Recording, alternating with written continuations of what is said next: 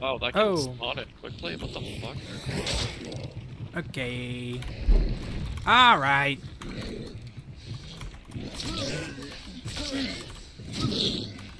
Uh, what did I just witness in that fucking window? Oh, oh my god, dude, that scared the shit out of me. I was fucking fighting this armored, and look, Oh, I just saw it like past the left corner as I was like meleeing him, and I, I, I wasn't sure if I should be scared of it being a. Is that is that actually programmed in the AI right now to walk across that window perfectly like that maybe. to like scare people? I mean, it is a horror game. True. I guess.